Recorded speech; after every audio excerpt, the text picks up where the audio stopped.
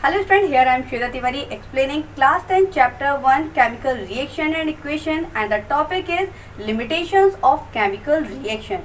तो कोई chemical reaction जब आप रिप्रेजेंट करते हैं तो वहाँ पर कुछ रूल्स रहते हैं। लेकिन आप क्या उसे पूरी तरीके से एक्सप्लेन कर पाते हैं जब आप उसे रिप्रेजेंट करते हैं?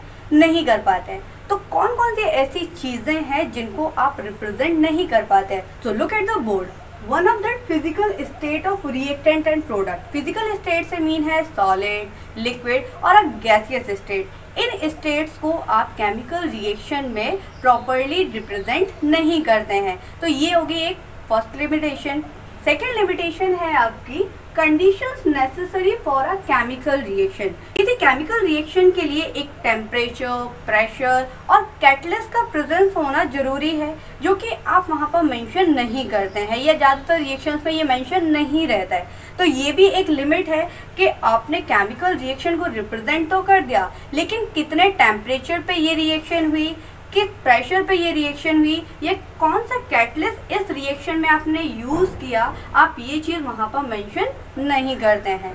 Third one is that rate of reaction rate of reaction का मतलब है कि टाइम के साथ कितना प्रोडक्ट बना, यानी कि फास्टेस्ट रिएक्शन है और स्लोएस्ट रिएक्शन है। ये आपको पता नहीं चलता है।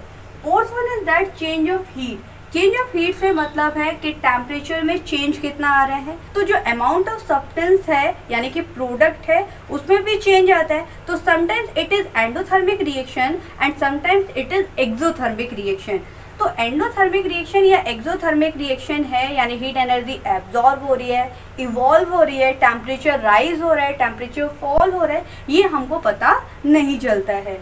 Next one is that concentration concentration से मीन है कि कोई भी चीज़ कितने पार्ट्स पर मिलियन और पार्ट्स पर बिलियन में आपने यूज़ की। तो ये चीज़ आपको यहाँ से पता नहीं चलती है, यानी कि आपको concentration of reactant and product के बारे में नॉलेज नहीं मिलती है। Next one is the mechanism mechanism में होता क्या है कि कोई रिएक्शन जो है, वो कितने स्टेप्स में कंप्लीट हुई तो आप ये चीज़ प्रॉपरली एक्सप्लेन नहीं कर पाते हैं। इस तरीके से हम कह सकते हैं कि मैकेनिज्म हम एक्सप्लेन नहीं कर पाते हैं। Next one is the nature of reaction ये रिएक्शन रिवर्सिबल है इरिवर्सिबल है. आपको ये भी पता नहीं चलता है. तो these are the limitations of chemical reaction अगर आपसे कोई पूछे कि केमिकल रिएक्शन की लिमिट्स क्या क्या होती हैं तो आप ओवरऑल ये सेवन पॉइंट मेंशन कर देंगे, जिनका मीन अलग अलग होता है, और इस तरीके से आप लिख सकते हैं these are the limitations of chemical reaction now we are discussing about removal of drawbacks of chemical reaction यानी कि किसी केमिकल रिएक्शन में जो लिमिटेशंस थी, कमियाँ थी, आप उनको कैसे रिमूव कर सकते हैं? तो कुछ लिमिटेशंस पार्शियली हमने क्या कर दी? रिमूव कर दी। जैसे कि पहला हम उठाते हैं फ़िज़िकल स्टेट्स ऑफ़ मेटल अगर आपको फ़िज़िकल स्टेट्स ऑफ़ मैटर के ड्रॉबैक को रिमूव करना है तो सबसे बेटर तरीका होता है कि आपने कैसा लिया? सॉलिड स्टेट में प्रोडक्ट को लिया, है ना? रिएक्टेंट आपका कैसा है? लिक्विड स्टेट में है, या फिर गैसियस स्टेट में आप ये मेंशन कर देते हैं। तो इनके लिए हम सिंबॉलिक फॉर्म यूज़ करते हैं S L and G where S for solid L for liquid and G for gases यानी कि आप किसी केमिकल रिएक्शन में आपका रिएक्टेंट कैसा है? सॉलिड है लिक्विड है या गैसेस स्टेट में है, आप मेंशन कर देंगे। साथ में आप क्या कर सकते हैं कि प्रोडक्ट भी अगर देखते हैं कि सॉलिड है लिक्विड है या गैसेस स्टेट में है तो आप इसे रिप्रेजेंट कर देंगे। For example so example is two N A plus two H two gives two N A O H plus H two. Sodium को जब वाटर के साथ रिएक्ट कराते हैं तो आपको मिलता है एन मीन्स होता है सोडियम हाइड्रोक्साइड एंड H2 यानी हाइड्रोजन गैस इवॉल्व होती है.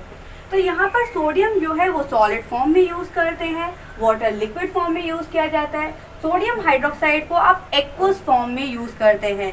ए का फुल फॉर्म होता है एक्वस एक्वस मीन्स होता है solution in water two types of solutions होते हैं. One of that aqueous solution another is a non aqueous solution अगर कहीं पर लिखा है aqueous solution it mean solution in water and कहीं पर लिखा है नॉन एक्वस सॉल्यूशन इसका मीन है कि वहाँ पर वाटर नहीं यूज़ किया गया. आप कोई भी सब्सटेंस यूज़ कर सकते हो for example benzene alcohol etcetera तो aqueous and non aqueous solutions होते हैं. हम यहाँ पर क्या यूज़ कर रहे हैं? एक यानी कि सॉल्यूशन इन वाटर आपको मिल जाता है।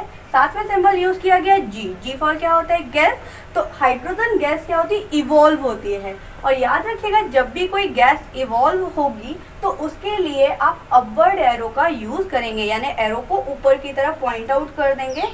तो इस तरीके से आप बता देंगे कि किसी केमिकल रिएक्शन में physical state of reactant and product क्या है?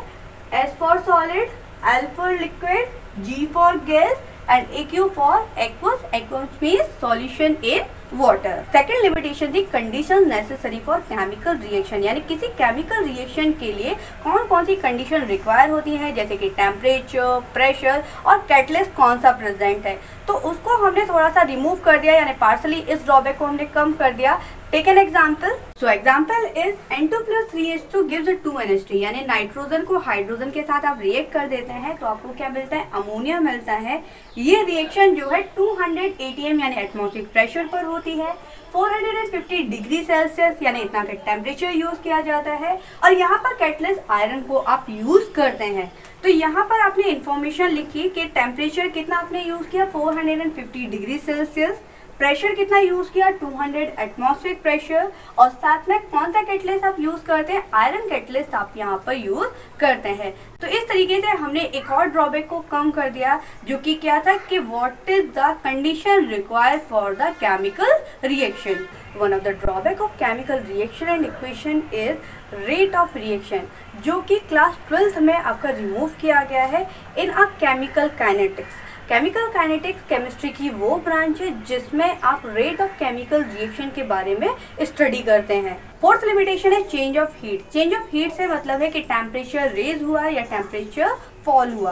तो अगर हीट एनर्जी क्या होती इवॉल्व होती है तो टेम्परेचर में राइज आता है, जिसे आप एक्सोथर्मिक रिएक्शन कहते हैं. लेकिन अगर टेम्परेचर में फॉल आता है, यानी हीट एनर्जी एब्जॉर्ब होती है तो ऐसी रिएक्शंस एंडोथर्मिक रिएक्शंस कहलाती हैं. इन रिएक्शंस को पेपर पर रिप्रेजेंट करने का सिंपलेस्ट तरीका होता है. Take an example so example is C plus O2 gives a CO2 but it releases energy 94,300 calories यानी कि इतनी एनर्जी क्या होती है? रिलीज़ होती है। मैंने आपको बताया कि अगर हीट एनर्जी क्या होती है? इवॉल्व होती है। तो इवॉल्व होने के लिए आप साइन यूज़ करेंगे प्लस का और ऐसी रिएक्शंस एक्सोथर्मिक रिएक्शंस कहलाएँगे।